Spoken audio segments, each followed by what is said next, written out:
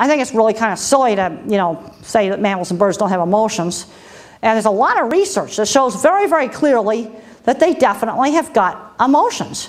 Prozac works on dogs. You know, if dogs came from another planet, Prozac wouldn't work on them. The neurotransmitters are the same. And there's a lot of old papers. I'm going to be doing a, a talk at the American Society for Animal Science talking about animal emotions. And I went back and I dug up all this old literature like um, that I studied when I took psychology in the 60s, like the rage cat. You put a, you stimulate the hypothalamus and the cat goes into a rage. And they called it fake rage. Well, it wasn't fake. You know, they didn't, it, they sort of like they didn't want to admit that they had emotions. Okay, Jaak Panksepp kind of cataloged the uh, animal emotions.